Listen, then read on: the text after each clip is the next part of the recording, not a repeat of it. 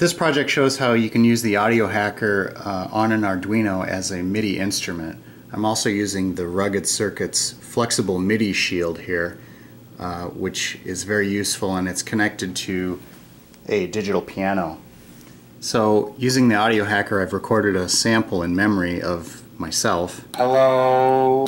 Saying hello, uh, trying to say it in a uh, middle C register. Hello and the sketch on the Arduino will listen for MIDI commands and when it plays back the sample after getting a MIDI command it will match the playback speed to to the note that's being played on the piano. So it'll change the playback speed higher faster to play a higher note and slower to play a lower note. So let's try it out.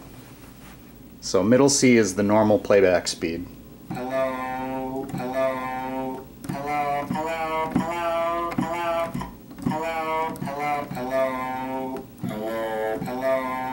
Hello. Hello.